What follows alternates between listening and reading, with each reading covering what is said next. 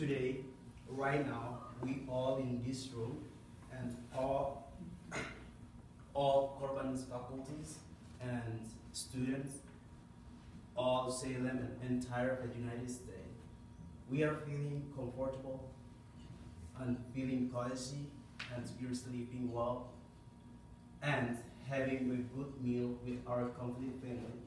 But on the other side of the world, they are facing the opposite way. Uh, ladies and gentlemen, let me tell you a little bit about Indonesia. The Constitution of Indonesia started since 1945 in order to make Indonesia unite and called Indonesia Serikat. Such as the first paragraph of constitutions of Indonesia was written, maka penjajahan di atas dunia harus dihapuskan karena tidak sesuai dengan kemanusiaan dan keadilan.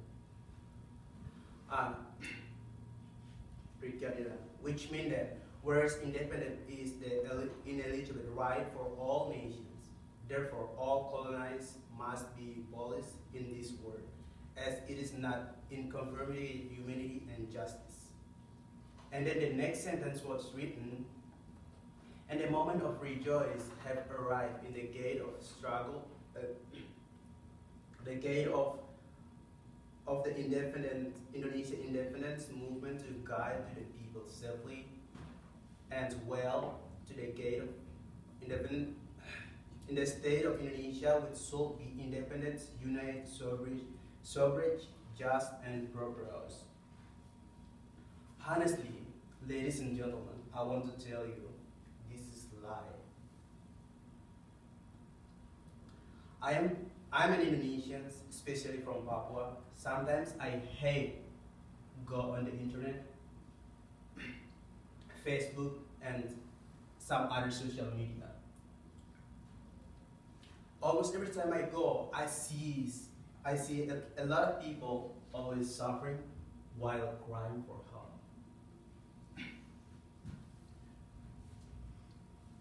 Indonesian government acts is very different than the constitution was written.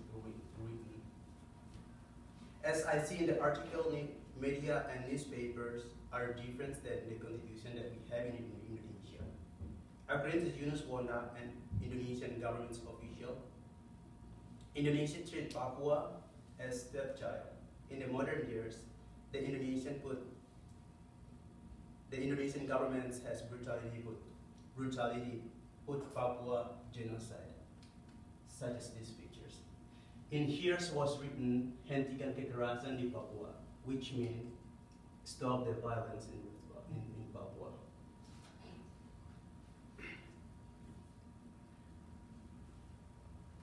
There is no right for indigenous people of Papua. They are legal with their bad reputation, uh, bad reputation, and more than 5,000 indigenous people in the province of Papua and West Papua were killed by governments of Indonesia. Yeah, in the last 50 years, yeah, they were killed by governments of Indonesia, as well as myself and right here with you. But I'm still under the pressure I'm still under the pressure.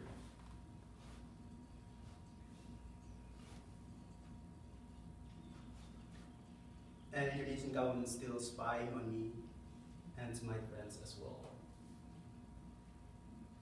Therefore, we can speak out for our, our right to determine better future. In Papua, right now, it's the same situation as the United States was in 18 and 19th centuries. Inequality between black and white, then called the black color, lazy, and forced into slave, and etc. These are the some pictures. Let me read this quote by uh, Evan Buscaglia. It is not enough to have life, life we should be determined to live for something. May I suggest that it is It's be creating joy for others, sharing what we have for betterment of personal kind. bring hope to the lost and love the lonely.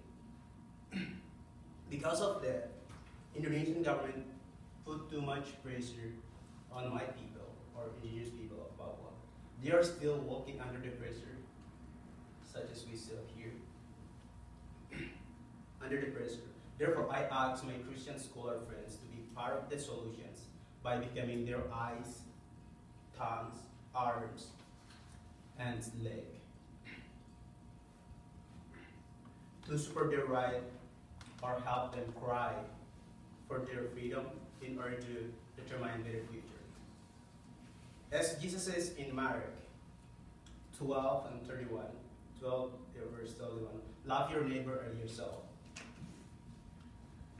I believe this is the time as a Christian must take actions and help Papuans in order to create peace and love.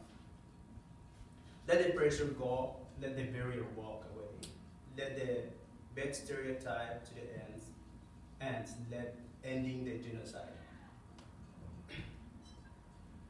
We all collectively, as a Christian, we must separate them from Indonesia to be separate country by voicing our voice.